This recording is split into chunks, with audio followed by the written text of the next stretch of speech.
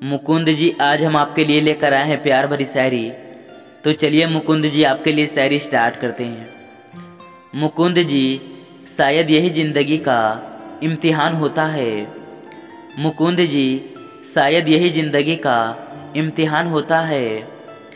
हर एक व्यक्ति किसी का गुलाम होता है। कोई ढूंढता है ज़िंदगी भर मंजिलों को। मुकुंद जी कोई ढूंढता है ज़िंदगी भर मंजिलों को, कोई पाकर मंजिलों को भी बेमुकाम होता है।